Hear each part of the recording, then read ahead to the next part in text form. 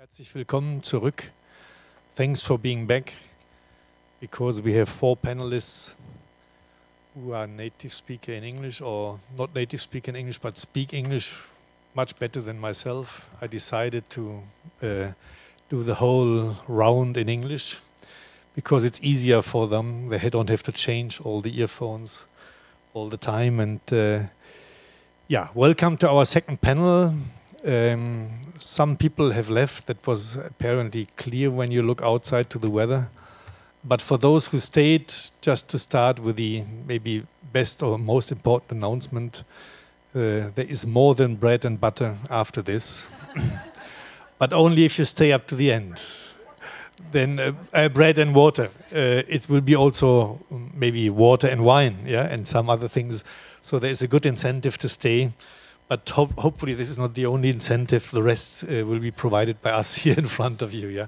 So we will start the second panel, which uh, was listening all the time to the first panel. So you are all allowed always to say something about the nation state if you want, even if uh, the objective of this panel is to look more in how to increase accountability for other actors in the context, yeah, or how to think about international accountability or global governance or however we would like to call this. And this is what I would like to discuss with four panelists, which are really extremely interesting. And I would like to introduce them also, as Barbara did briefly to you, referring to uh, the map you get with all the more detailed information. But um, uh, I first want to say hello to Rachel Davis. Uh, she works with an NGO, in this sense, really correct called Shift, but um, maybe it's better to say she is an Australian lawyer who has worked with a lot of uh, UN institutions as well, has uh, worked also at the CSR initiative at the Harvard Kennedy Law School in uh, in the US. But in the last years, she was particularly involved in the process of uh, the UN Special Rapporteur on Business and Human Rights, John Ruggie, in the development of the UN Guiding Principles on Business and Human Rights, who was already getting some criticism today. and Shift is now the institution which helps every, every actor in the world to implement these voluntary guidelines. So even worse, you haven't not only been developing or co-developing these guidelines, but also supporting it. So it's interesting to look into this, and obviously we are going to discuss more about accountability of private sector actors and business. Yeah. Directly sitting on my right side is Sigrun Skogly. She's professor at Lancaster University. She's originally from Oslo, has also law degree from the Oslo University. Later she studied in Essex. And uh, uh, she was also president of FIAN International. I have to say this because I've also worked with that organization sometimes. So she was my boss for some years. Uh, and she has been co-founder of this uh, consortium for extraterritorial state obligation, which has drafted some years ago in the university town of Maastricht this Maastricht Principles on Extraterritorial obligation, State Obligations, which is a network of actors from science, from civil society, from government institutions, national human rights institutions. And uh, because she was initiating the whole thing, we can learn more to talk not only about home state responsibility, but also about host state responsibility. So welcome to our panel also. Then on the far left, from my side, is Candido Grzybowski. Um, maybe many civil society actors would know him as being one of the heads uh, organizing the World Social Forum, which was starting in the 90s in the city of Porto Alegre, and he's from Brazil. he's a, not a lawyer, and this is good that we don't always have lawyers in our uh, area. We, he's a philosopher and sociologist who studied um, first in uh, Paris, but later also in England. Maybe a fate of many uh, people who were fleeing the Brazilian military dictatorship in that years, who had to come to other uh, countries in order to have their uh, education uh, or to receive the education. Then he was professor for sociology in Rio, uh, and since 1990 he's director of IBASE, the Brazilian Institute for Social and Economic Analysis, and in that function he was also coordinating or uh, co yeah, inviting to the World Social Forum, and he is still a member of the council, which is organizing the World Social Forum regularly. He was also attending the latest one uh, in Tunis in uh, this year. So he's a somebody who can reflect how civil society think about accountability gaps and what civil society strategies are. The Counter Davos meeting was at the World Social Forum and reflecting what maybe is needed if we want to really increase accountability internationally. And last but not least, I want to say welcome to Stephen Leonard, our second Australian beside Rachel on that panel. He is director or president of the Climate Justice Program, a climate justice program, which is a, an organization which is trying to bring human rights and justice issues together in the global climate uh, agenda. And he has worked for many, many years as an attorney in Australia, uh, litigating also on environmental law cases. So has a lot of experiences in the area of environmental law. And because Jochen von Bernstorff started to say there are different let's say, strength in international law. We heard about trade law, investment law. It's also interesting that we can have a focus on environmental law as well as on human rights law to see how accountability in these sectors can be increased or maybe improved, also knowing that other sectors maybe have a stronger say or stronger accountability focus at the moment. So that was the introduction and thanks uh, for all of you being here.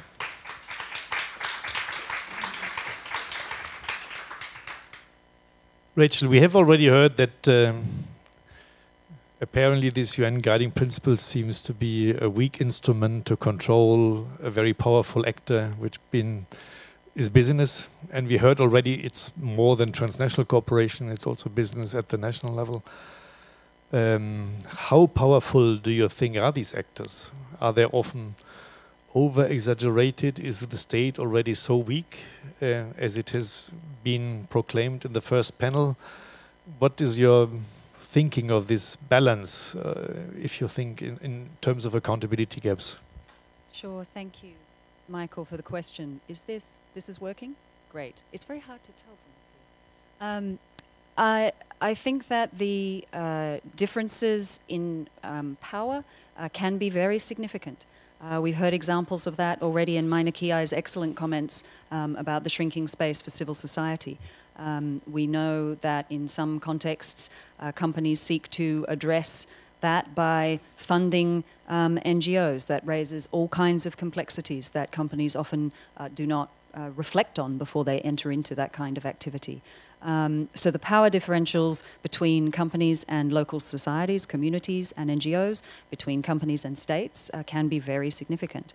Um, of course, it varies in different contexts. And part of the um, aim of the UN guiding principles uh, was to try to embed in numerous different um, normative orders or forms of accountability, if you like, um, this idea of business respect for human rights. That as a minimum expectation, uh, uh, as society, we expect companies to seek to avoid negative impacts on people as they go about their core business. This is not about philanthropic donations and things that feel nice.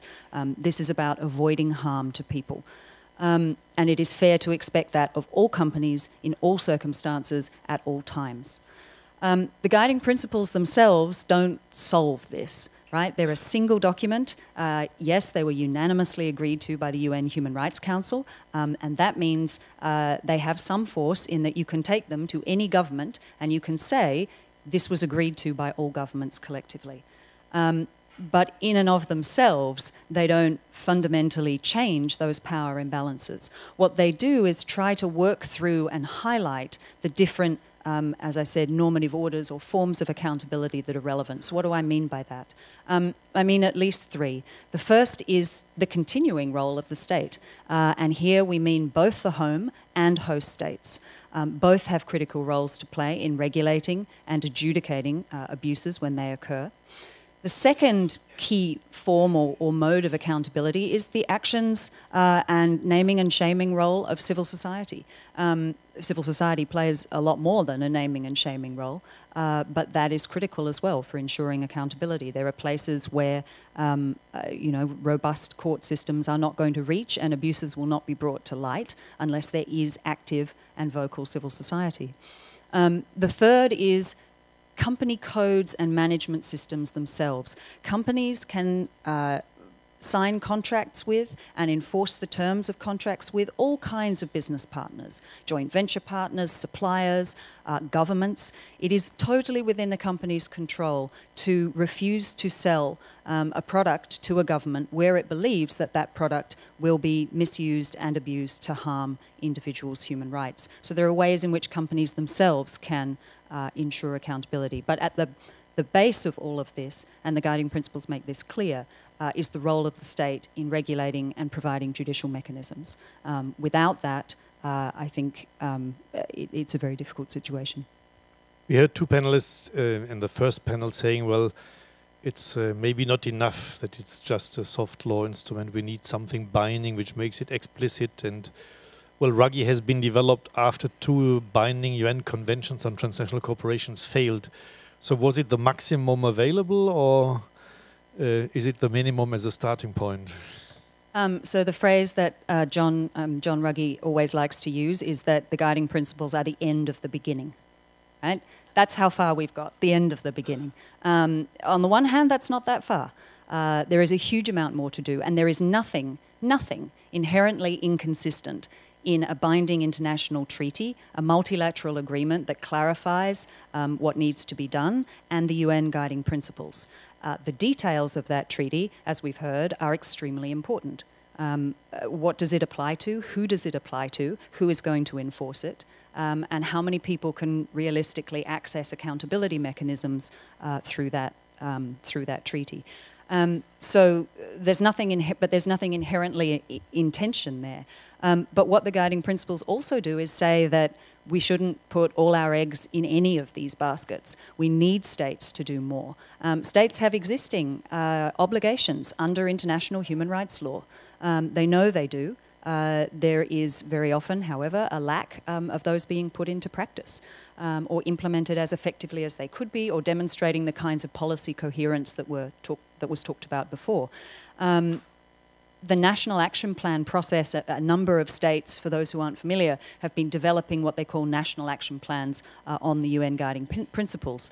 Um, the one area which only the state uh, can take action in around access to remedy through judicial mechanisms has consistently been uh, the weak point in all of these national action plans. We've seen them come out um, from the UK, uh, from the Dutch government, from a number of other European governments. The US government is working on one right now. We're start, uh, the Chilean government is starting. Uh, Malaysian government will be starting soon. This is spreading beyond the EU context.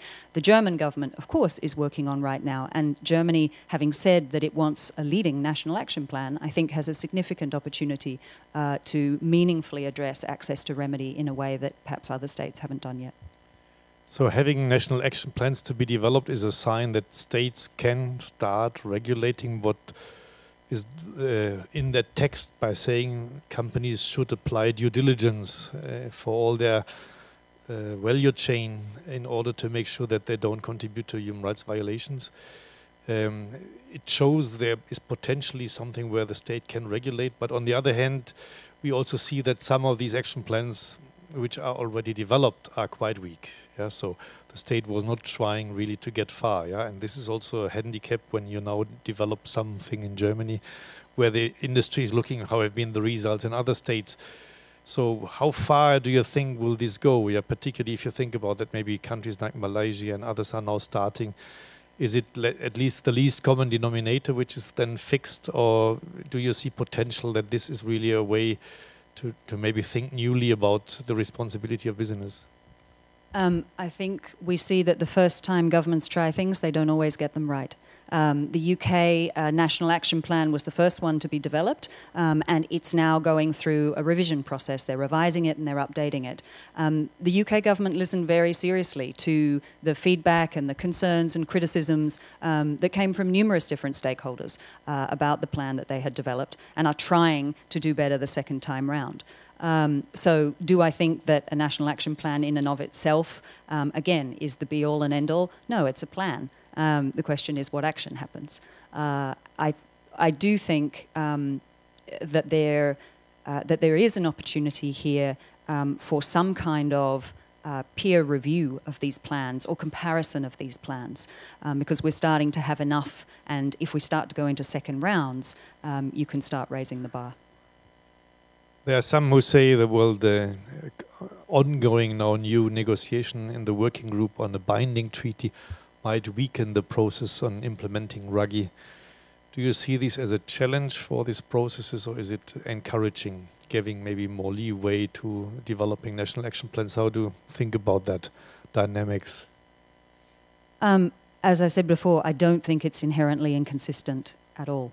Um, I also think that people, many people, um, people within companies, people in local communities, uh, people in other governments, um, are impatient and they want to do to continue with all these different tracks at once. And I don't think any one is going to stop any of the others. The UN guiding principles couldn't stop any other tracks. They're not intended to. Um, I think the reverse is true as well.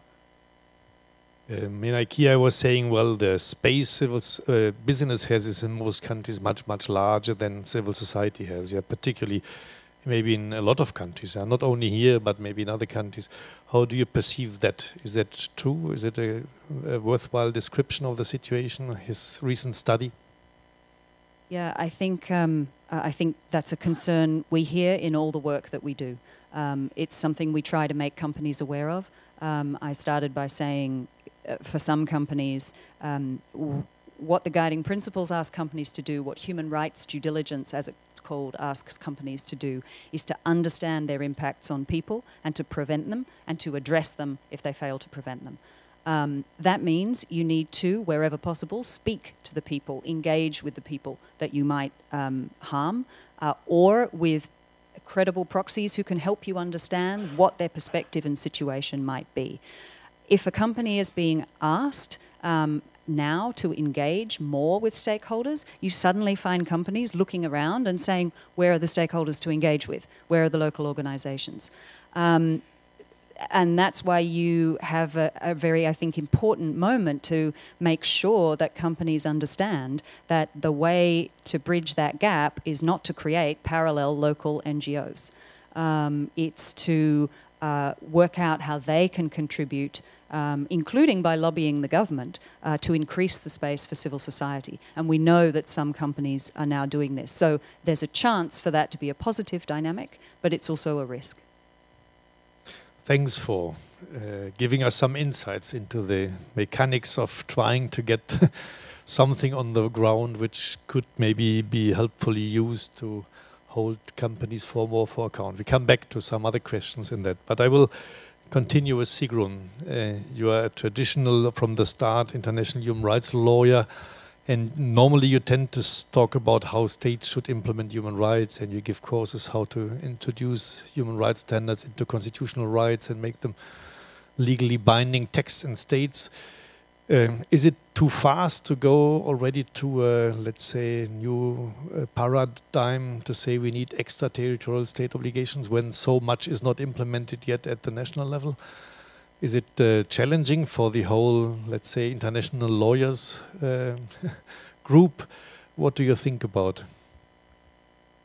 Yes, it's certainly challenging, and and uh, thank you for asking. And I, I, I have to say this that I quite often say that part of the problems with the, the whole human rights um, discourse is that it's too dominated by lawyers because we tend to we tend to think in certain boxes and not outside them.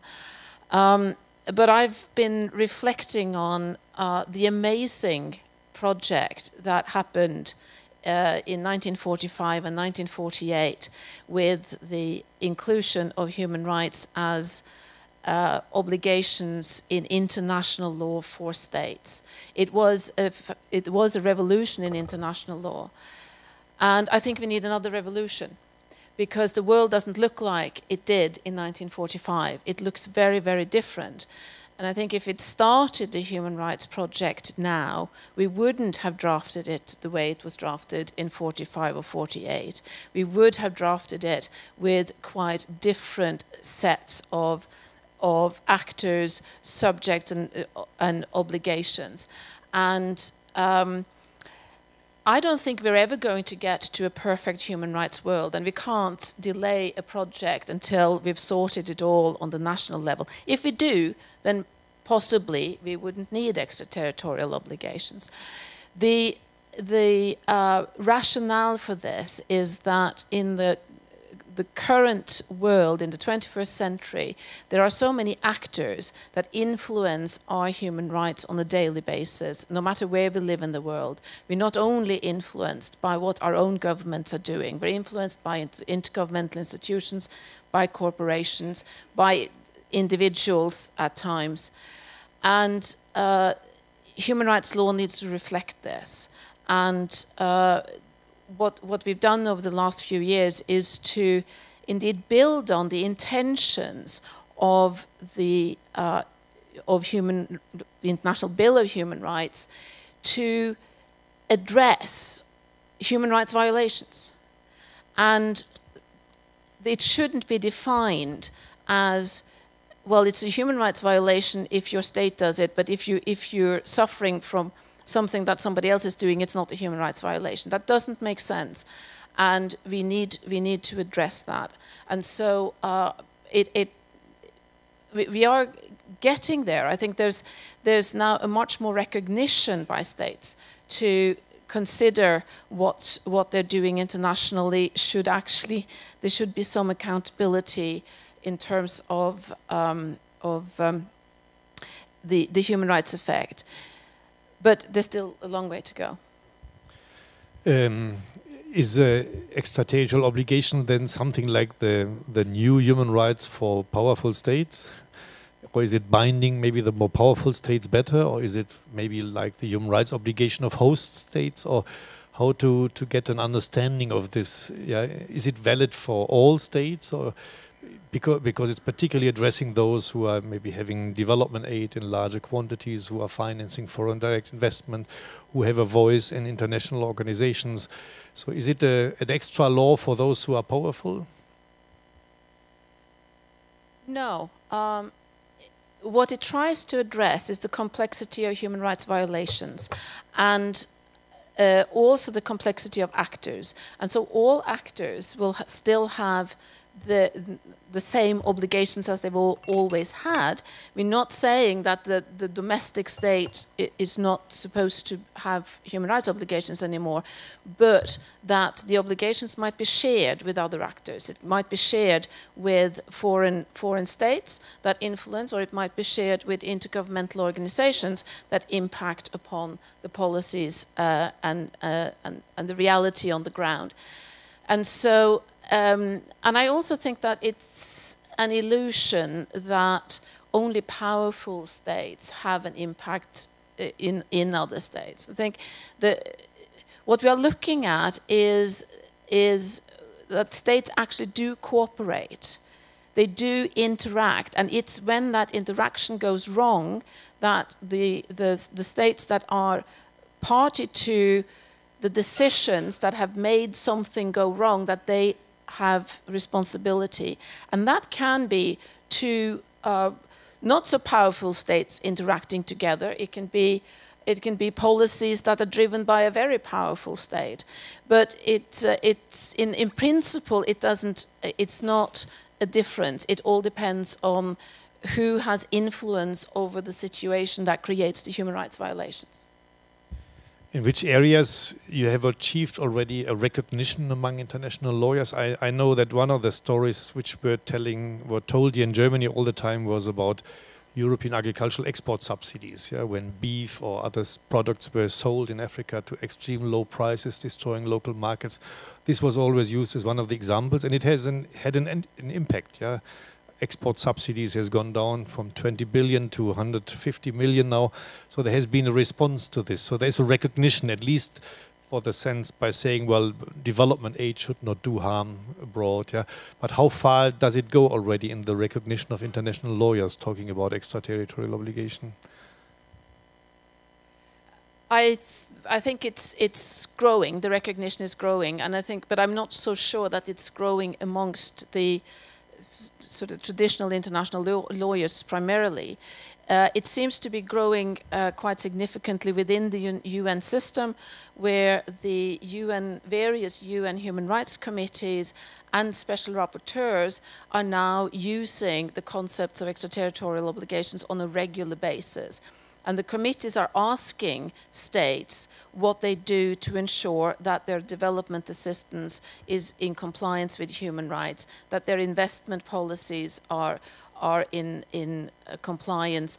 And, uh, and indeed, uh, my, my own home country, Norway, was asked how it ensures that its massive sovereign fund is being invested ethically and, and not in, in companies that are, um, that are uh, in breach of human rights. And so, so uh, the UN system is now driving, I think, the, the recognition here, and international lawyers have to stand up and take take notice because there's a development here in the in the law and the, the acceptance of the law. But the, it's a battle. Uh, it's a battle to to get this through. Thanks for for this first round of questions. Candido, you are listening carefully what the uh, endeavors are done to get some accountability grips to some of the actors which might be influential beside the nation state. When you look back to the discussions in the World Social Forum, particularly in the last ones, do you think this is pleasing civil society? Is that the prospect you would like to see, or how is it discussed, these type of accountability gaps in, in this World Social Forum context?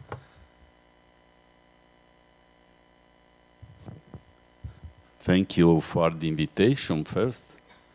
Uh, it's difficult to, to it's difficult to put like that a forum because it's a huge gathering of different people with different visions, different organizations, social movements, and so on.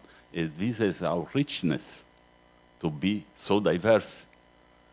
The only thing that unifies us is struggling against the world Economic Forum. So the globalization process, so the business community and the government supporting the business. So accountability for us is can be seen in different ways. I can talk what I'm seeing about that, but not about the forum talking. And the forum are losing capacity to influence today after the crisis mainly we have lost a lot of capacity to mobilize, mobilize people and so on.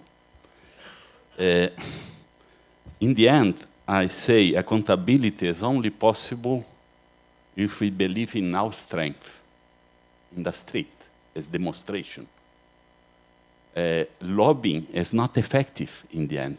Can be effective if there are people in the street crying and pushing and doing a lot of things. If not, they will bypass. Is it they ever do? Business are accountable only for stakeholders. After, maybe, in some ways, they will be accountable for human rights. Uh, governments, you can take a small government in my region and in Africa, will be first accountable for business. Maybe, if there are a lot of pressure, will be accountable in some ways for a special violation of some leader, for example, or some or skilled, something like that, that has huge impact in, in the public. So, I think uh, looking for this process, we, we face this kind of economy leading by corporation is the main violating power supported by government.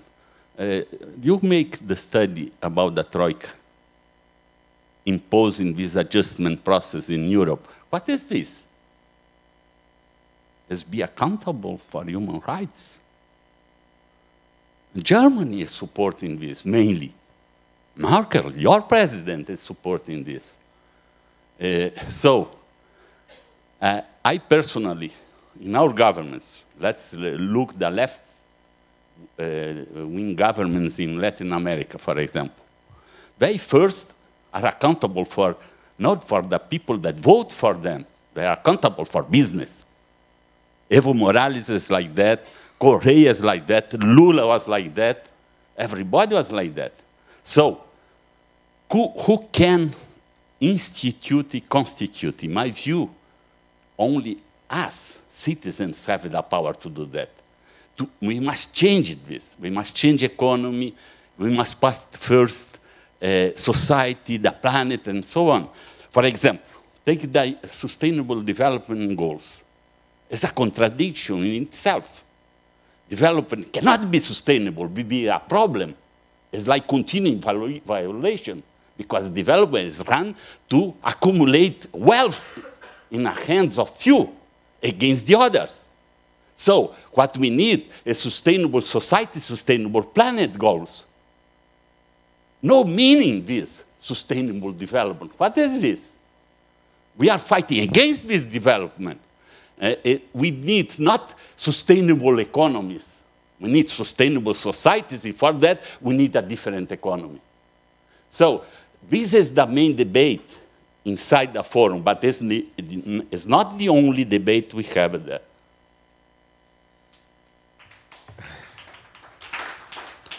Having uh, asked you now for the debate at the social forum, I might ask you another uh, for another debate.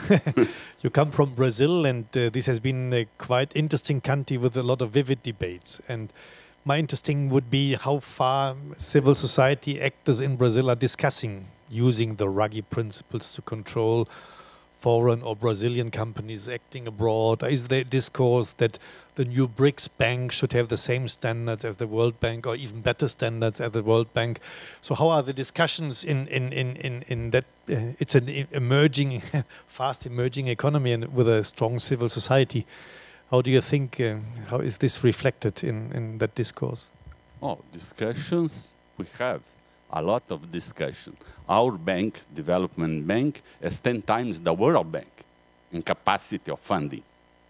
And we have a forum to discuss because this is unacceptable from citizen perspective. They have a forum with business and not with citizens. So, but there's a contradiction that.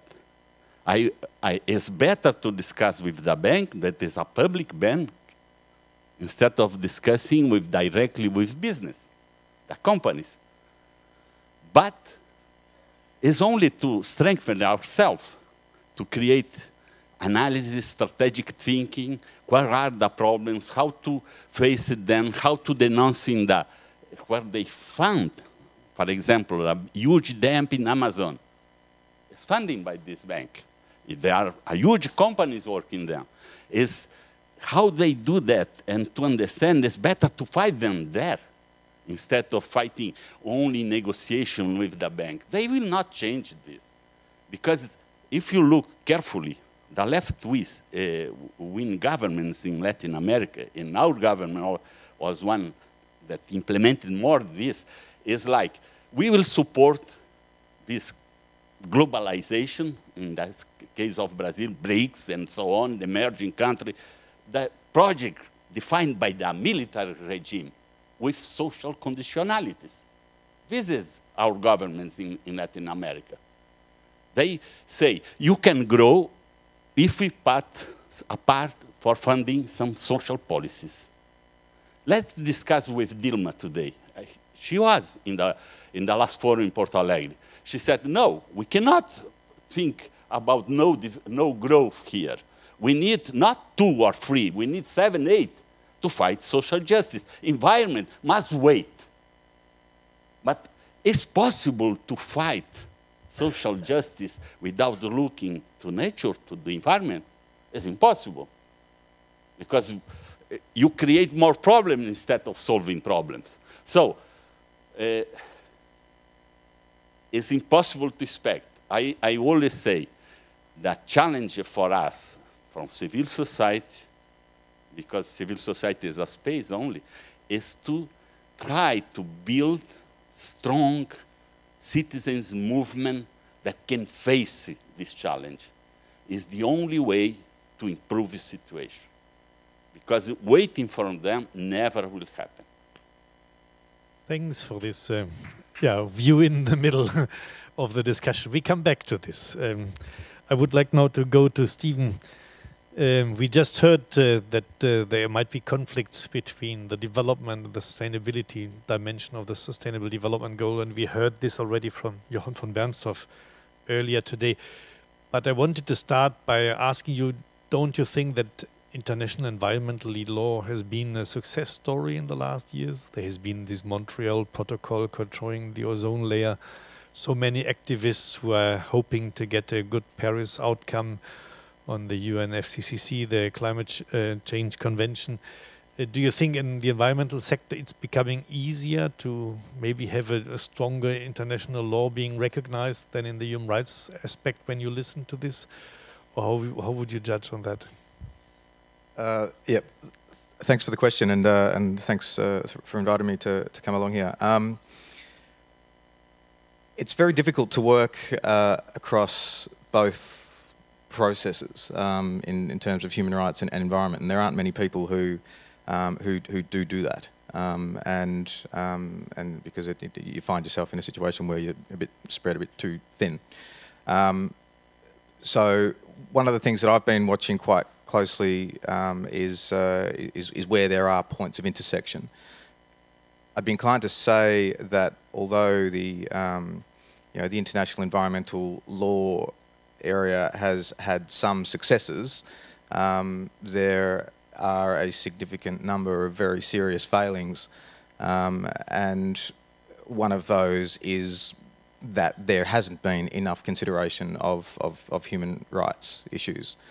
Um, I think that if we look at some areas where there are intersections, one, for example, might be um, around intergenerational equity. I think that the issue of equity at the international level is one where um, is one where there's there's a lot of potential for there to be um, some some level of intersection between um, the, the, two different um, areas.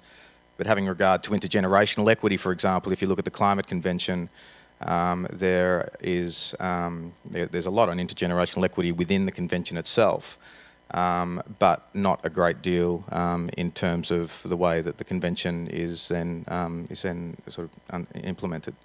Um, another area of environmental law where intergenerational equity is very strong is in the context of World Heritage. Um, for example, um, where there are, there are there are strong there's very strong wording in that convention for states to be um, under a duty to be protecting and conserving World Heritage areas for the benefit of future generations. But if you then compare that to what's happening in the in, in the climate scenario, um, I think it was perhaps four or five years ago where the World Heritage Committee had undertaken um, expert, a series of expert studies and identified something like 150 World Heritage sites that are threatened by climate change at that point in time. Um, and so having also worked within the within the international climate ne negotiations uh, for civil society for, for a number of years, um, I don't see I don't see a, a decent or an, or an, acceptable outcome happening in Paris. I can see um, I can see an outcome. Um, there'll be there'll be some form of very high level agreement, but um, if you look at the INDCs, which are uh, intended nationally determined contributions that are being lodged by parties at the moment, um, and the assessments that are being undertaken um, by some of the some of the scientists around the place of these um, contributions, um, they uh, none of them are rating high. And um, if you look at the decarbonisation pathways that um, that, that, that, that, are being looked at by the likes of PricewaterhouseCoopers and, and others. Um, current decarbonisation is happening at um, 0.9% per annum, whereas the requirement to stay within two degrees is 6.2%. So we are miles off. And having just, sorry, did you want to? Yeah, well, the, the, the recent decision at the G7 meeting here in Bavaria was already saying we need to go on the way of decarbonization, and they are saying 2050, 40 to 7 percent, 70 percent reduction. Isn't it something? Well, they're words coming from leaders. Um, I I hear I hear words um, all the time, but I I don't I don't see the I don't see the action. Um, it's I've, I've just spent two weeks in Bonn at the. Um, thanks. I've just I've just spent two weeks in Bonn at the climate negotiations, listening to the world discuss whether to analyse a 90-page text on the basis of whether or not they should be looking at paragraph numbers first and text second in a table or text first and paragraph numbers second. Um, it's moving so incredibly slowly that it's frightening. Um, and so one of the approaches that we're taking is to look in the direction of litigation. And that is where I think this is going to end, end up, really, to be frank. Um, well, the Norwegian pension fund, Sigrun was already mentioning, recently declared that they are not having any longer shares of German companies being invested in coal mining. Isn't it this an, a symbol that maybe economic pressure from the market could also move something? I think the companies which are German electricity, larger German electricity companies now have to think about what does it mean as a signal from the financial markets if they are no longer being used as a as an asset because they invest in coal. Isn't it showing that there is some progress also in these economic mechanisms around getting standards at these levels? Yeah, Nor Norway are very good at making the world think they're great at these types of things. I found, I mean, the the work with I've done, I've done a lot of work around REDD Plus, um, and Norway have been a real REDD Plus champion. Um, whilst still, and Rainforest Foundation Norway called them out in in a, in a report that was called Beauty and the Beast. Um, a couple of years ago, which basically called Norway out while they were being a champion for REDD Plus, whilst investing in a number of a lot of companies that were undertaking illegal logging. Um, here we have a discussion emerging around pension funds and fiduciary obligations of pension funds. In Australia, our equivalent is superannuation funds, and so it's it's a pressure that's um, that's been mounting on, on on the Norwegian pension fund for quite some time, and they have divested um, from coal, but they're still making um, a, a lot of money from from, oil and um, and, uh, and and and and gas. So um, some of these victories are a, fairly, it's difficult to know whether or not they're really victories or, or steps along a, a, path that's going to result in a good end, or whether or not it's just saving face as we as, as we move along um, a, a, path to um, a very a very sad and sorry end. Um, so, yeah.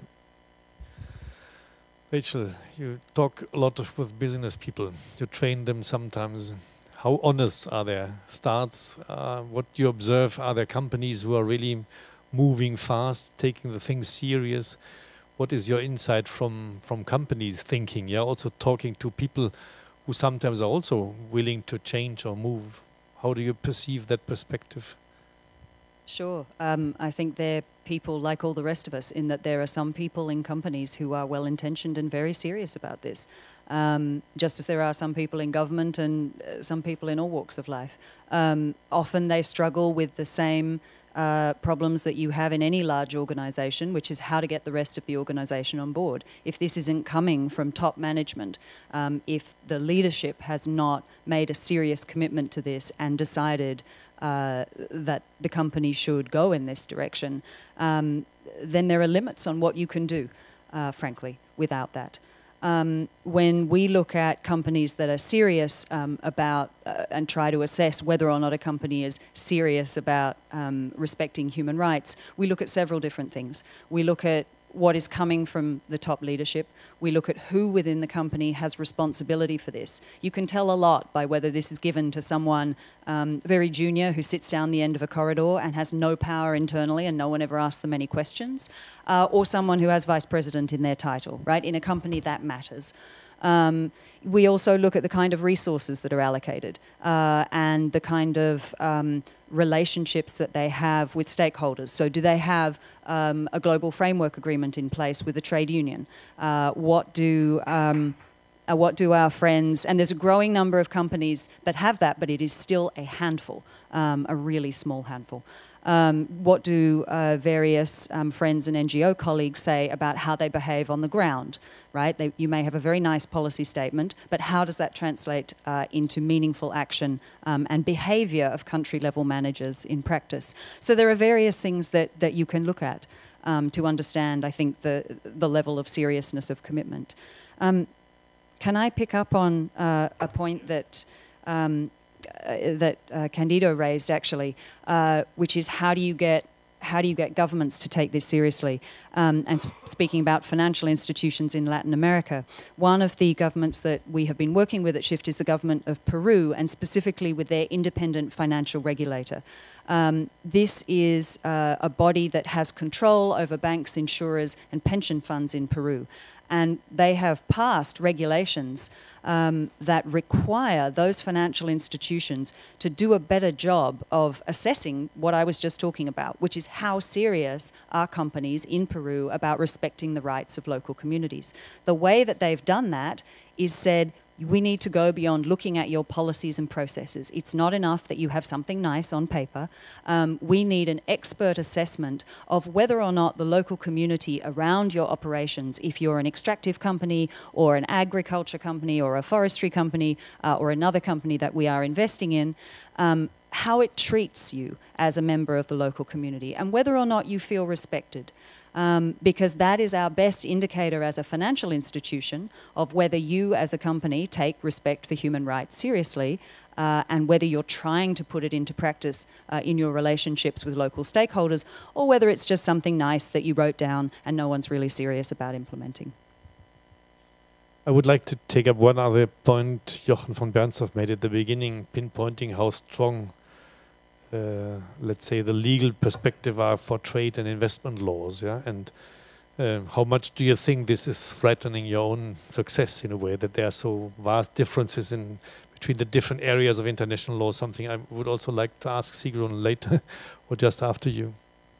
Um, in the middle of uh, john ruggie's mandate a couple of um, companies, um, uh, investors from Luxembourg, um, brought a case against the South African government um, under the uh, various uh, relevant investment rules, um, alleging that basically they had lost profits as a result of the South African government's attempt to implement black economic empowerment. Um, it's a perfect example of what Jochen was saying about the deep inconsistency between international investment law and international human rights law and everything that the UN Guiding Principles, the treaty process, other unrelated um, efforts, and the climate movement are trying to push towards. Um, this was actually really helpful for us because we were, as a result, able to convene a number of uh, states, both people from the state side who negotiate these agreements and people from the company side to say, what would it look like to actually think about human rights before you sign a contract like this? And you create a situation in which uh, a company can bring this kind of case against you as a government for doing what you should be doing as a government. Um, so the guiding principles refer to this issue and they talk about the need for states to preserve the policy space to meet their obligations to respect human rights. Um, but it's like scratching the surface uh, on that one. Business, I, maybe you go to the same question, yeah? Sure. Um, I, I read a book recently that had a chilling but quite a fantastic quote. Um, it's a book by uh, Fred Pearce, who has been writing on uh, land grabbing. And uh, in buried into the middle of the book is this quote where he says, and it, it might be slightly paraphrased because I don't have it in front of me, but basically he says that international law is a charter for the land grabbers. And I think this relates back to the question that you started with in the first round, the questioning of, of um, Rachel, is um, uh, are these companies so powerful? And the flip side of that is obviously how weak are the states. And I think it's amazing that these states that we call so weak have managed to create such strong investment law on the international level. They seem to be able to do uh, strong regulation when they want to. It's just a question of, of whether we can get them to want to do it in, in human rights law as well. And I'm a bit worried about the, the, the rhetoric around the so called weak states. Because the more we talk about weak states, the more excuse they get for not doing anything. And so, so I think we, we need to start to hold states to their responsibilities. They are the custodians of international law. Nobody else can create international law, and they need to they need to stand up to that responsibility. I always say when we don't do it, then comes the Chinese. What do you think about that argument? Sorry, in, in No, companies often say this. Yeah. Yeah. Now, if if we, they start incorporating a lot of social costs and other things, then they will be competitors. Well, I just call them the Yeah, Chinese, yeah. but it could be competitors from other countries. I have to be uh, clear in that. Yeah. Uh, and then uh, the competitiveness of the situation on the ground is often used as an argument, saying how difficult it is. Yeah, and then they say, well, if the state isn't regulating it themselves, the home state, how can we do it yeah as as a company from abroad trying to regulate something when the competitors don't do it yeah so that's uh, describe it as a dilemma yeah Yes, and I can I can see that that's that's a dilemma. However, there are many dilemmas in life, and uh, I'd like to to quote uh, Desmond Tutu, who uh, when he received uh, he received a Peace Prize. Um, was asked about this was in the 80s and he was asked about the um, the sanctions against South Africa and said well uh, well if you know sanctions don't work because some some companies will always always go in on some countries and he said yeah it's the same argument as if there's a woman hitchhiking uh, you might as well pick her up and rape her because uh, somebody else is going to do it anyway uh, I don't buy that argument. I do think that uh, that trying to avoid going for the for the lowest standards is where we need to go. We can't accept the argument that if we don't have low standards, somebody else is going to have low standards. And uh, I do think that actually what we what we have seen with China is that as as the the uh, uh, as the economy has grown and the uh, and the the um, sorry where am I going here? With uh, wages have started to grow in China and so companies British companies are coming back to Britain because now it's so expensive to to work out in in China and so what I'm trying to say here is that you you're finding that these arguments about the, the low standards that that if you work against those, they can have a positive, uh, positive uh, result.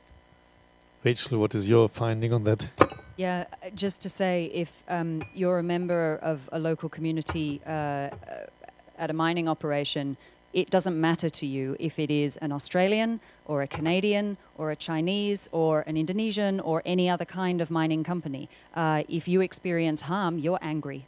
Um, and I think that uh, increasingly the Chinese government, like other governments, uh, are finding this. It's no coincidence that last year um, they issued official state guidance for Chinese mining companies operating abroad that they need to respect human rights.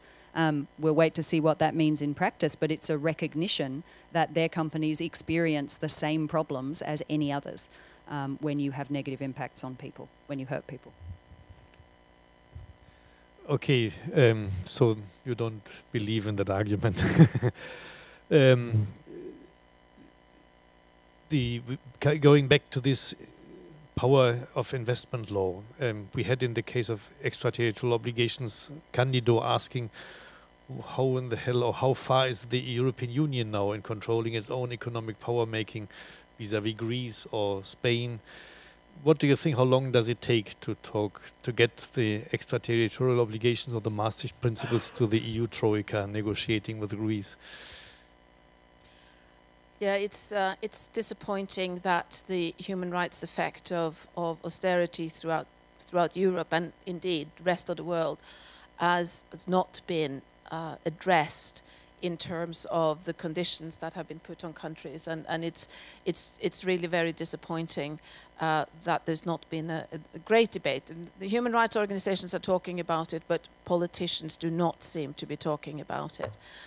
Um, I think that this is where we need civil society. This is where we need the strong, uh, strong watchdogs to to uh, pressure governments and pressure the European Union and, and the member states of the EU and others, the United States and the IMF and the, the, all of the actors, that there that, that there are obligations here, and that there are obligations that they are actually bound by, as states have that have ratified the uh, international covenants on human rights, and they cannot continue uh, the kind of policies that lead to uh, severe human rights violations in, in countries. There are policy alternatives, and those have to be explored.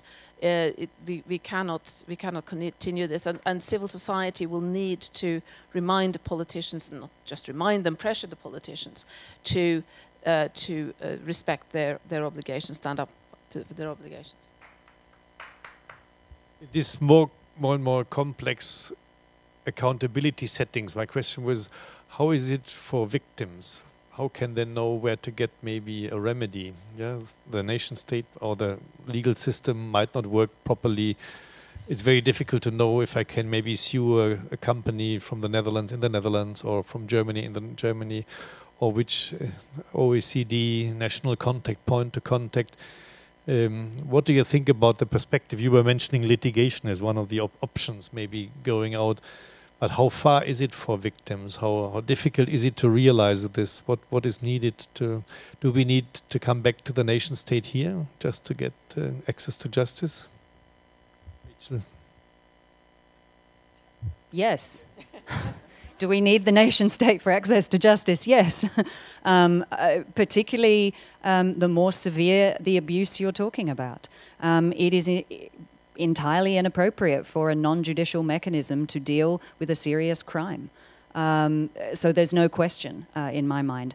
Um, the question is, how do you get that access? Uh, and I think everyone on this panel and many of you in the room know all too well um, that those pathways, uh, as they currently exist, uh, are not they're not enough of them. Um, they're not easy to access. You don't know where to go for help. Who can you find uh, as a lawyer, and can that lawyer be funded? Right? How are they going to make a living by representing you? Um, we hear this from plaintiff lawyers all the time. Uh, so, I, I, mean, I think the answer is yes, and there are huge problems. Um, I think that the other mechanisms can do more. Uh, things like the national contact points can be stronger than they are, and they can be appropriate for some instances. Um, but, Stephen, maybe you want to add to that. access to justice. It's a bit of a myth. It's um, yeah. I mean, no matter where you are, it's uh, access. I mean, the amount of um, the amount of bars to to, to justice, uh, uh, just it's it's just too much. I mean, uh, you know, adverse costs orders. Um, for example, in Australia, it's a huge um, it's a huge bar. Uh, looking at, you know, there's been a bit of discussion about participation um, and um, I, I live in Indonesia um, and I, I work with a lot of a lot of Indonesian NGOs and there's all the talk about REDD Plus and all the rest of it. But what do you do if you're living in the middle of Kalimantan and there's um, and there's a company coming in to implement a REDD Plus project and they're not letting you use your land anymore? Where do you where do you go? Um, and there's been a lot of talk about reliance on civil society to be this um, be this amazing sort of watchdog and manage to achieve everything. I was in, the, in a meeting with the EU and a bunch of civil society representatives the other day, and the point was made that there, there's just far too much dependence placed on civil society to be undertaking this significant role that should be undertaken by states in the first place. Yet there's no funding for civil society to do it.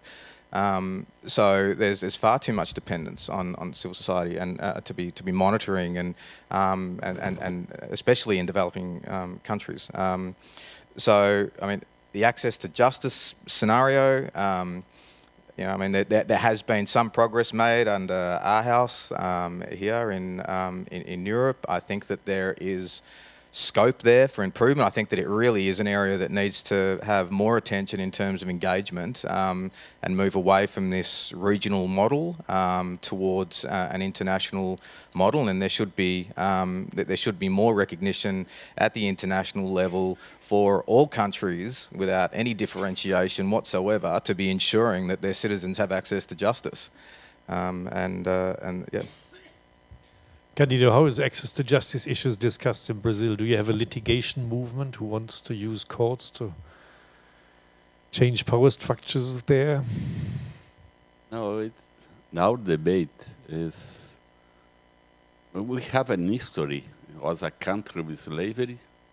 The state was built, our state uh, is built to dominate people, our own people, uh, invented by Europeans, let me say.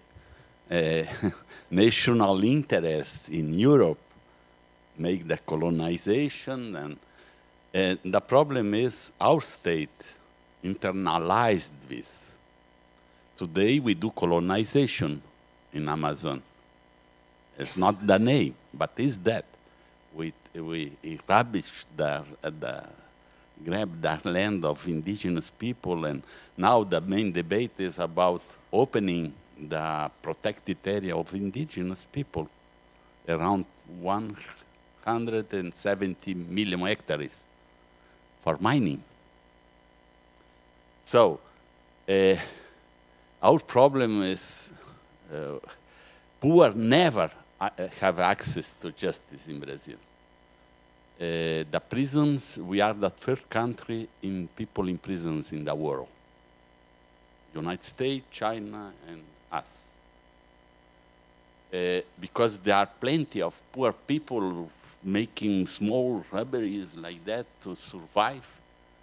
But the huge people, the rich people, they stay all the time out of prison. They are, in our law, a privilege. If you have university, uh, university studies, you have the right to have a prison with a special condition, a room and so on, not with others. Uh, this show what is our justice system. Uh, with the new constitution, where we have had more problems in the transition, was to change the justice, official justice system. We have better laws, but the system is the same.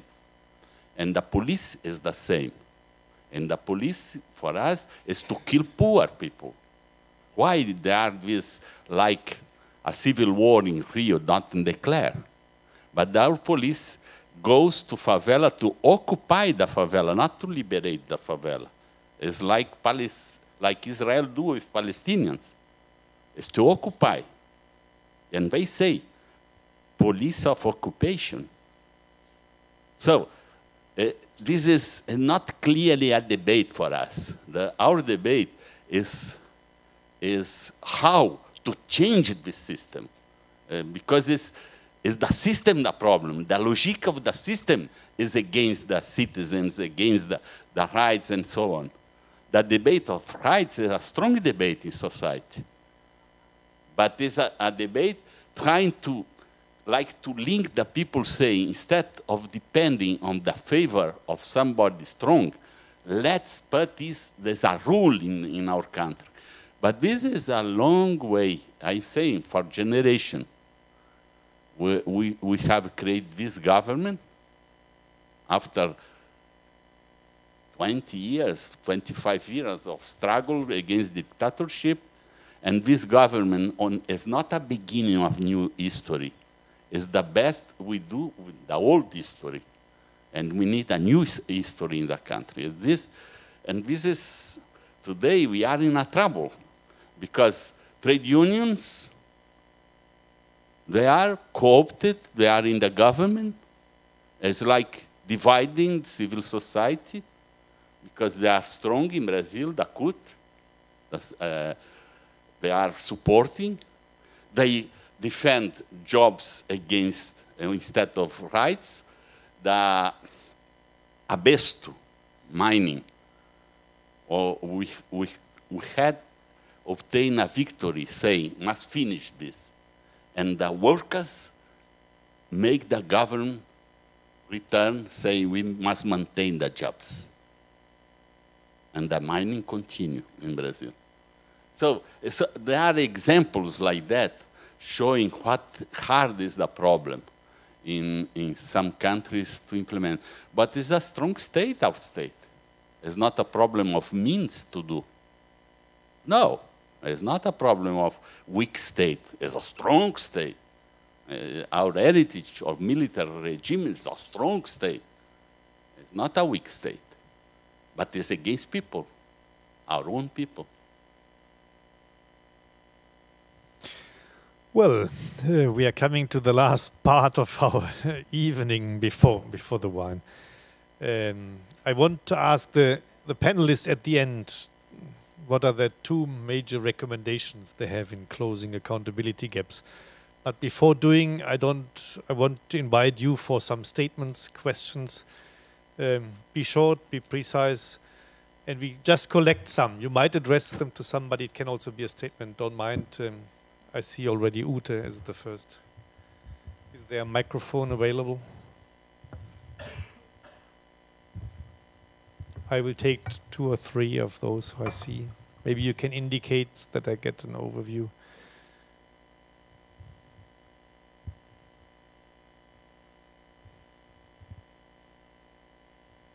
Okay, thanks a lot. Um, I understand the frustration with all questions related to access to justice.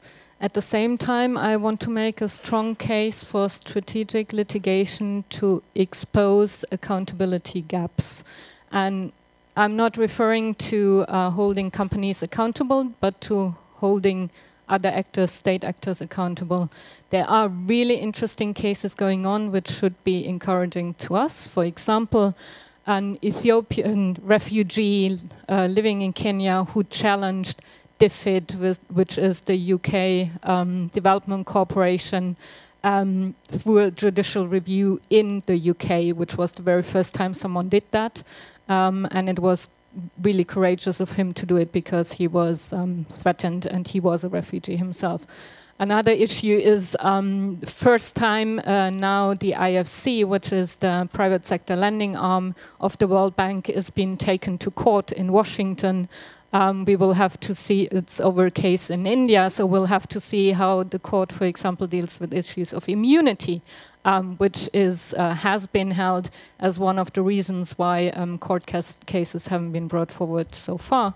And uh, last example I want to give, just as an encouragement as well, uh, just this week Ireland was reviewed by the UN Committee on Economic, Social and Cultural Rights, and of course austerity policies uh, were a huge issue, and the committee has been really strong in asking very nasty questions um, about whether the government actually was felt forced by external actors uh, to implement those policies. So I think we can really look forward to interesting recommendations coming out of the committee in two weeks. Um, and of course, you know, strategic litigation by nature, that's why we call it strategic, is never just something that happens in court. But as uh, Candido said, I think it, it, you know, this will not litigation can only be one component of, of a better or larger strategy for social change, and it will depend on the people on the street and the citizens claiming their rights uh, through parliaments and on the streets that something is going to change. Okay, so we already collecting some points for uh, our closing round. Yeah, so maybe this is an element strategic litigation. I see somebody sitting in that row here, just in the middle. Yeah, you up. Hi, good afternoon. Uh, thank you very much for this discussion. My name is Tabaré Arroyo. I represent the Global Climate and Energy Initiative from WWF International. And following a bit the dynamic from the previous session, I want to pose, a, I call it a, a challenging question to the whole panel. And I may uh, first write uh, or propose a hypothesis based on what Candido said, or paraphrasing him. So a sustainable society, uh, the one that institutes and constitutes change. And my question is the following, is, is society really able to drive climate justice forward? What is climate justice? Is, is that a right of, of the society? Is that an obligation of the society? And finally, who really needs to walk the talk? Thanks. And I have one question here on that side. You can also speak in German if you ah, like. Ah, ja. Uh, Eva Quistorp, um, ich. Um Just a second, let's uh, the panelists take No, um, I can do it in English. the You like earphone. in Okay. English? Yes. yes. Eva Quistorp, normally I ask what is the inner link between human rights debate and women rights debate, but because the Rachel on the one side and our friend from Brazil on the other side mentioned the word trade unions, and I had to clap because I realized that since a while, I myself and many of us with the climate debate, the UN agendas, and then the human rights. It's good that they are more on the table and more on the debate, but I find it very strange more and more that we do debate nearly never about trade unions and what, how are, is the weakness or the strengths of trade unions and their independence linked to what we call strong or weak state, or what we call police state, or what we call the state of law. So I would like it very much if you in your work, but maybe the Böll Foundation and we in our way to uh, Paris and Addis Ababa and so on. I think we really have to review by reviewing what is the space of civil society. How did the role of trade unions and their capacities and so on change with, it, with globalization and with the last years? And didn't we lose uh, the link with them and to strengthen them? And the other thing is independent media. I think there cannot be accountability and human rights and women rights and trade union rights without independent and strong independent media. And only as a proposal, you can that we should look more for the interconnection of these aspects of a real state of law. Yeah, thanks for adding these elements to our understanding of civil society. So I will open the floor for the two recommendations from your side, and you might answer to the questions. Maybe I start the other way around. Yeah, Stephen, you might ask, start. Uh, so questions or recommendations first? Which order would you like? No, like the first paragraph answer some and questions, and then you should end with a positive note. That is my my trick. I'll do with my you. best. My trick with you, yeah. Um, uh, so, in terms of, uh, I can probably respond to the question concerning strategic litigation um, and uh, perhaps something on climate justice and. Um, and rather than trade unions, maybe point just on, on, on international trade law. But um, in terms of uh, strategic litigation, um,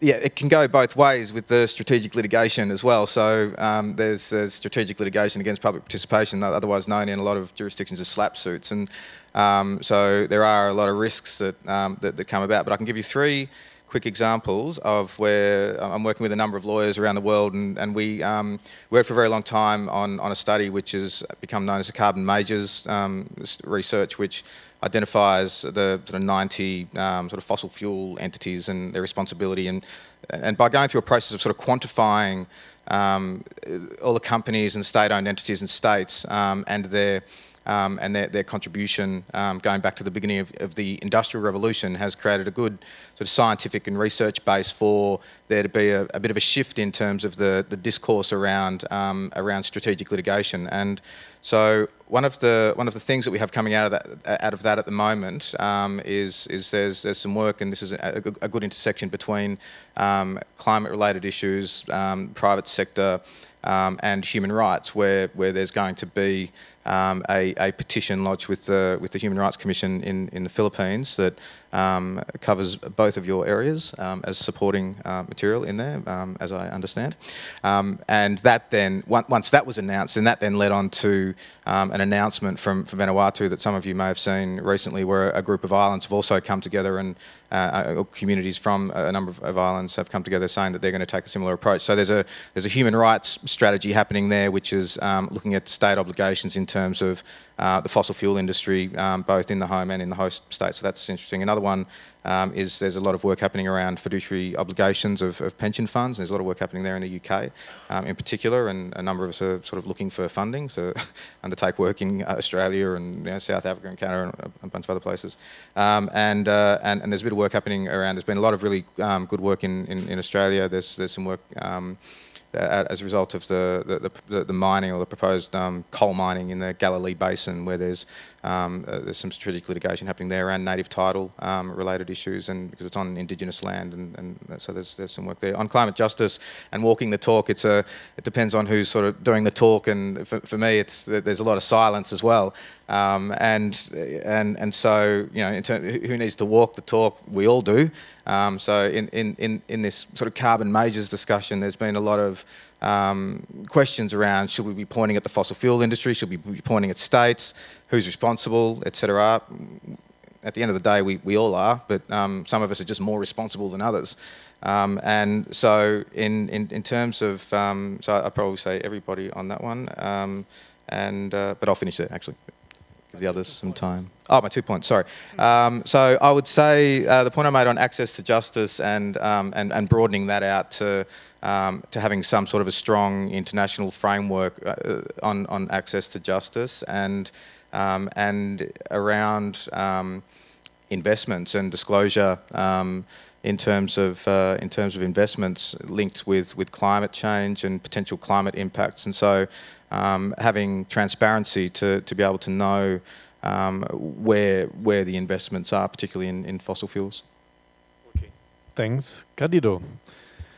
Answers and yes, two I, points. I don't know if I have some special recommendation like that, but there are two two debates that I I think can be useful for us uh, struggling for human rights and so on.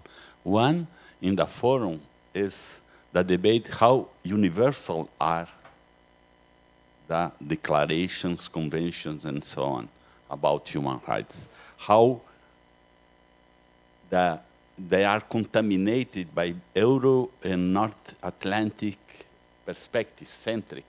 For example, property rights this is a privilege. There are no planet for everybody to have land. So, is a right? Uh, I, am talking more, the most radical, may, maybe, but you can take pro, uh, intellectual property right that are against language, culture, music, what people do. This is business today. And private business or common. So the debate is complex. There are legality and legitimacy. The forum discussed more the legitimacy of rights. Inside Brazilian society, uh, an important debate is if the right is not for everybody, it's not a right. And this is changing a lot of things because people feel if I talk about rights, I'm talking about the community, about a lot of people not only about me, because the right must be something as a social relational right. I'm entitled as member of this community to these rights. So this culture is the most strong, uh, strong thing coming from society in the struggles when, uh, when they transform their demands in rights that are not recognized but must be recognized in some ways. Must be some laws for that. So this is, is like spreading, is uh, contaminating the system when you put like that the question. Can be a recommendation for us. Yeah, thanks. we can reflect on this. Uh, Sigrun, your answers on strategic litigation and the recommendation. Yeah, um, uh, yeah, these sort of points go together. I think I, uh, I think in terms of access to justice, I, um, I, I, totally agree that we need to strengthen the national systems because even if we do get uh, international an international framework, which I also think we do need, uh, it's a ver there's very very few people that can access international uh, justice mechanism, international accountability mechanisms, and so I think we and and and part of my worry is that if we if and that's one of my two points, um, is that if we focus too much on getting the international uh, procedures and mechanisms going, that that takes away from the attention that we, we give to the national setting, because that's where that's where it's it's most needed. I think that the two should go hand in hand, but we should make sure that one doesn't doesn't get forget, forgotten because of the other. And I do think, uh, Uta, that the uh, um, the um, uh, sort of um, examples of litigation are very useful. Um, but I'm also worried sometimes about what the examples actually tell us because they can backfire as well, and that's uh, that can be problematic. But uh, but I think I think they are generally useful. Um, I think the main point I would like to make, coming from the perspective of extraterritorial obligations, is that what this is what this is really about is about shared obligations.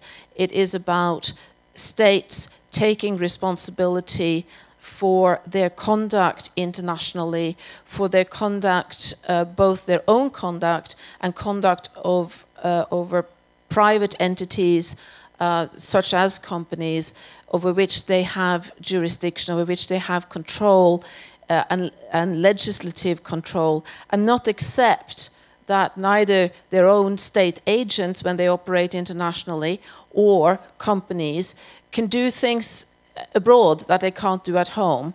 That's not always a perfect situation because we know that companies can do bad things at home as well, uh, or indeed state agents, but at least that's going to get us, us uh, a bit of the way in terms of, of uh, moving forward. Uh, of course, the, the standard to which we are measuring any behavior, whether it's at home or, or abroad, it is the human rights standards, and, uh, and that should not be, be compromised. Thanks, Sigrun. Rachel. Thank you. Um, I wanted to just respond to the comment about um, trade unions. Uh, so, if you are um, a German company with operations in the United States, it's quite possible that one of the most severe impacts you may be involved with is failure to respect freedom of association. Um, and I think uh, that there is a greater need for recognition um, uh, by all governments um, and by companies uh, of the importance of freedom of association as an enabling right, as a fundamental enabling right in all contexts, uh, and that that needs to continue to be central to discussion about respecting human rights. It's talking about building bridges. Um, it's not seeing labour rights as something separate or unrelated. Uh, this is an integral whole. Um, two uh, suggestions, comments, reflections. Um, one is about uh, the ability that companies have to use their influence or their leverage um, uh, for, to support human rights aims. Um, they're extremely good at using it to lobby against tax provisions that they don't like, right? What we're saying is you know how to do this. Um, how can you use that to achieve uh, a positive outcome? Um, you saw oil and gas companies uh, who were seeking to invest in Myanmar um, insist, basically all of them, refused to bid until the government was transparent about the terms of the investment contract. Right? That's using leverage for a positive end. You saw apparel companies, in response to worker deaths in Cambodia, write a public open letter to the Prime Minister of Cambodia saying, We all commit to paying double what is currently the minimum wage in Cambodia because it is it's a joke as a minimum wage. It's not a minimum wage. Um, it's certainly not a living wage. Uh, and we commit to do that, and we will. We recognise that there will be cost implications for us, but we're doing that now. Both of those examples are, to me, positive. You said you wanted positive examples, um, because they were using influence to achieve human rights ends or to try to achieve them, and they were public. They were transparent about what they were doing. Um, so my second point um, is from uh, right here in Germany, and actually involves you, Michael um, which is that uh, some of you probably know that the German Development Finance Institution, DEG, and the Dutch Development Finance Institution jointly set up a grievance mechanism. Um, the purpose of this mechanism, it's an independent panel, and the purpose is to review where there are allegations about abuses or impacts connected with their operations. Um, and uh, the independent panel recently issued a very compelling report um, about serious uh, problems with one of their um, projects. Uh, and I think that's an excellent example of what can be done if you have good, robust, independent accountability mechanisms in place. So the pressure is on you. Well, I'm a member of that panel. I have to. okay. Um, we are coming to an end. I didn't ask specifically just for a positive note because it's so nice then to go out and enjoy the sun. It's also maybe thinking about bec because we are all active in that area, yeah, and we can all frustrate us. then it's not so encouraging in in doing this for the next 20 years, but by by looking it more a bit more constructively can help us. On the other hand, we we deliberately set up this meeting to not only uh, maybe paint everything white, yeah, or saying accountability is shining. It's not that that the way we, we wanted to reflect where the problems are. Yeah? And I think, in my understanding, we found a very mixed notion of things. Yeah, and I I've just noted five things, and maybe I say this at the end. Yeah, the one is uh, Jochen started by elaborating to us how large are the he called this regime conflicts between the different areas. Yeah, which we have for sustainability for human rights and for development. Yeah, the different knee uh, yeah, problems which can be between these compelling objectives, and we have to discuss them. They are not automatically leading to the same direction, and we have to be specific when we discuss this. Yeah, and it is uh, echoed by what Claudia Roth was saying. We have we need coherence in policies. Yeah, so you might have a very nice development policy, but if you have at the same time you, you sell or increase your car uh, uh, cells by by 50%, it might be not going uh, into the same direction. So these type of regime conflicts needs to be addressed, and I think that is one, something we, we haven't solved properly. We have indicated this is really a problem between trade and investment law, between environmental law, between human rights law, which still needs to be um, confronted and taken up. We also heard that we need uh, probably a good institutionalization of, for example, or better institutionalization of human rights infrastructure, maybe also environmental infrastructure, both at national and international levels. Yeah, so Jochen was not leading us from the hook, saying we need really these institutions, and I think we are all working on forms of institutionalization. but May it be action plans for business and human rights, may it be new instruments for implementing let's say, extraterritorial obligation, getting it linked to development aid, getting it linked to export credit agencies. So all this thinking of forms of institutionalizations are interesting. You also mentioned that there might be some positive gains in using companies' abilities to lobby, to change, to get maybe ma management processes speeding up developments, and we heard something like from the Norwegian pension fund putting some pressure on German coal company or companies still using coal power plants. So there might be some, let's say, dialectic in this process. Yeah, so it was a clear call for dialectic understanding how all these different actors can play together, without saying the one is only possibly positive or the other is only negative. I think it's really a dialectic process. We also learned that if it comes to access to justice, strategic litigation, still the nation state is maybe one of the most in need. uh, overcoming legal lacuna at the national level, if there is no court system working, is really a problem. Yeah? But we also learn from Candido how frustrating a non-functioning or maybe um, power-biased legal system can be. Yeah? So it's also a reflection that is maybe differently thought about if you're coming from Norway or from Brazil, because the, the legal system might work differently in, in that context. And this is also something which urgently needs to be uh, reflected. But Candido, you were also saying we are struggling to get a, a better legal system from the substance. Yeah, it's not uh, something totally out of out of reach. Yeah, and well, um, then I think Candido reminded us that something is extremely important to, to think about if we talk about using law and legal structures is that um, maybe uh, laws doesn't or rights doesn't fall from heaven just because you reclaim them. Yeah, there was a French Revolution, and it wasn't called revolution because it was from France, but it was a real revolution. Had a lot of uh, struggles ongoing. Yeah? so it probably needs to to think more that this is not only something for some strategic litigators or some lobbyists. It's really something which needs support in the society. Maybe it's reflecting how strong or how weak civil society are, how strong and weak trade unions are and other actors. So we have to bring this together. Yeah, it's not only something of some new tools and some accountability grips. So if we apply them properly, then automatically we will have the result. It's something like um, a struggle. But I also take, and this is my concluding word, some positive note from Candido, who was saying well, we have to know what are our rights, it's our entitlements. This is changing substantively the way we feel. yeah, so for me, it's also an encouragement to see that the human rights-based approach is of essential importance in that area, because it lets you know that you are not a victim or maybe a beneficiary of a benevolent state or uh, uh, maybe too powerful state it's something you can, as a citizen, as a people living on a country, uh, in a country, you can and should demand from your state. It's your right, it's your entitlement. And maybe this is a good note, at least for the sound of the struggles which we which we need to maintain. So let me thank you very much to the panel. That was a that was a very interesting debate, but I also want to thank you for sitting so long with us.